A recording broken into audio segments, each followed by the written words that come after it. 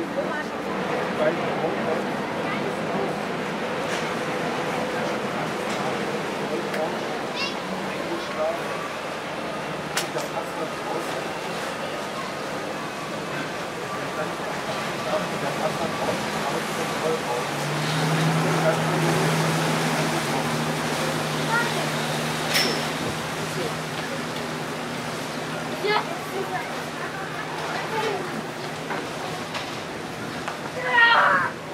Zug. Du weißt doch das allgemeine Problem der Bezugskraft.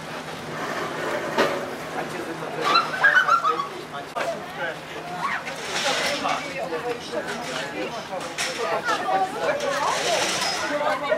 Hafenzeichen an Aussteigen.